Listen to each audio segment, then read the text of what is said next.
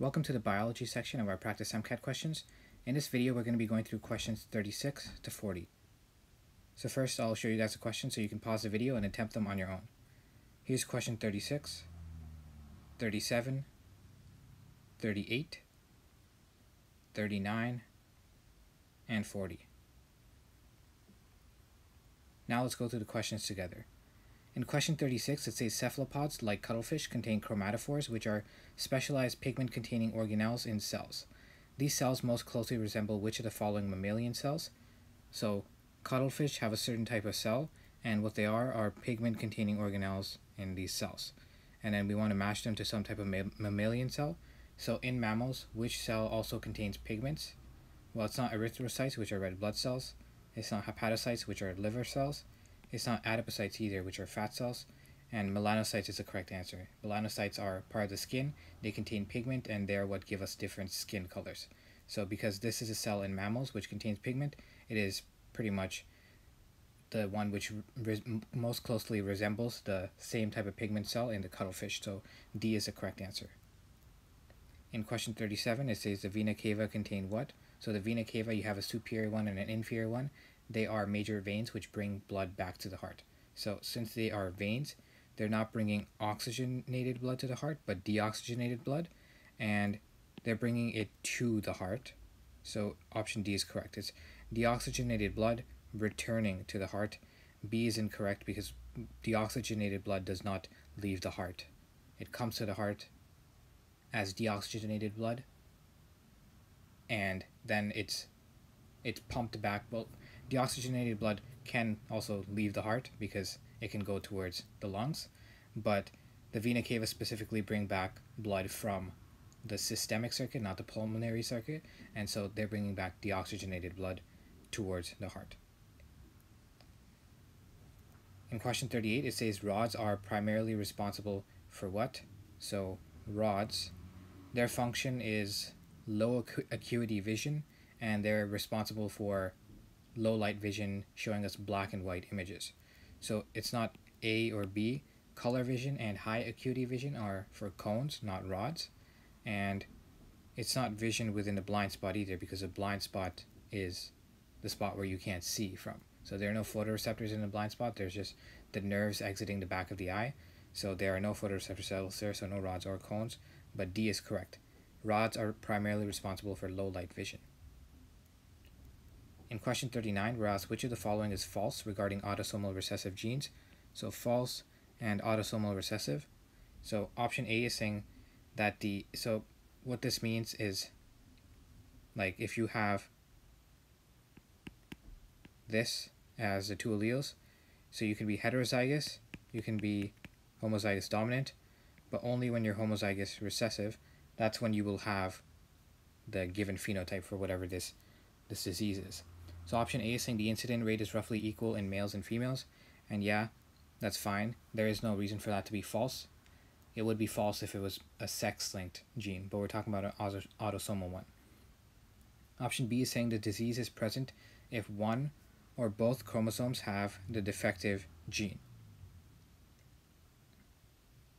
And so that would be incorrect because for something to be autosomal recessive, that means that if you had the heterozygous one, so this first one over here, if you had that, then the dominant allele would take over, and so you wouldn't see the recessive phenotype.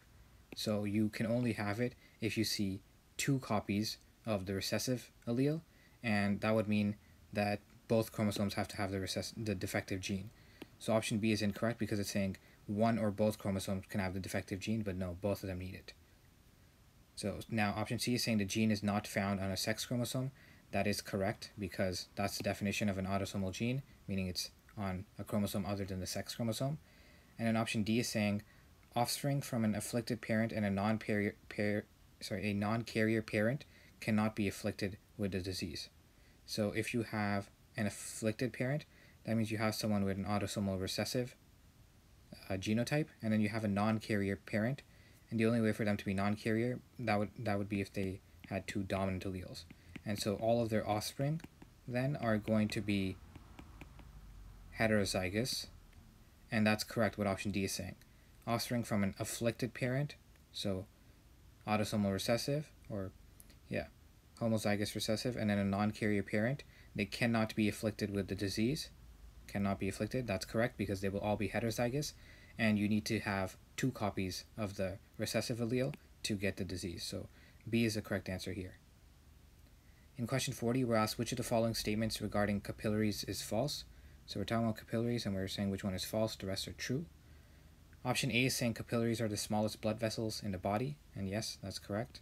They are smaller than veins or arteries or venules and arterioles. Option B is saying capillary walls are one cell thick, that's also correct. Option C is saying capillaries dead end. So they dead end and then they return the deoxygenated deoxygenated blood to their original arteri- arterioles which led which lead directly to venules. That's incorrect. They do not dead end. It, it's not like you leave from the heart and then you get arteries and arterioles and capillaries and then that's the end. And then the deoxygenated blood somehow has to mix with the oxygenated blood. No, that's not what happens in humans it goes from arteries first to arterioles, then to capillaries, and then the capillaries lead into venules. So it's the it's the capillaries which lead directly to venules, not the arterioles, and then the venules go to veins, and then the veins go back to the heart. So capillaries they do not they do not dead end. So this option is false. This statement is false, which makes option C the correct answer for this question. And finally, option D is saying nonpolar molecules such as gases diffuse through capillary walls without special transport mechanisms? Yeah, the cell wall is only one centimeter thick, or sorry, one cell thick, and yeah, much smaller than a centimeter even. And so gases can diffuse freely through the capillary wall because there there really isn't that much of a space that they really need to go through. So yeah, D is correct, and that's one of the reasons why capillaries are used for gas diffusion in the lungs. So that's it for the questions in this video. If you like what you saw, make sure to check out our course on teachable.com. The link is in the description below. In that course, we go through a lot more questions and then go through all of the answer options explaining why they're right or wrong. And other than that, make sure to subscribe to our channel to keep up to date with all the videos that we post here. That's it for this video. I'll see you guys in the next one.